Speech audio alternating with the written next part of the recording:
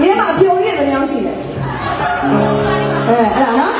အမေမဟုတ်မဟုတ်မဟုတ်အဲ့အဲ့စကားကိုလေအစတော့အာဦးချစ်ကောင်းတစ်ချက်တော့စိုးစိုးနေအင်းချင်းမသိဘူးနောက်ကျအဲ့ချင်းအခုမှစဉ်းစားမိတယ်နော်ခဏတော့စာသားချင်ရတာ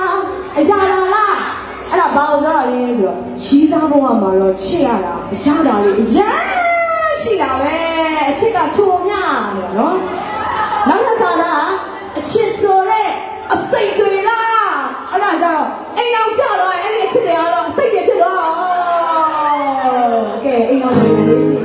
ဟုတ်လားအဲအဲ့ဒါကြောင့်နေယူမှာဆိုလို့စဉ်းစားစဉ်းစားကဲဒီလိုဆိုကြတာဒီချင်လက်တွေအတွက် one two three here we go ချစ်ဘူးလေချစ်ဘူးလေချစ်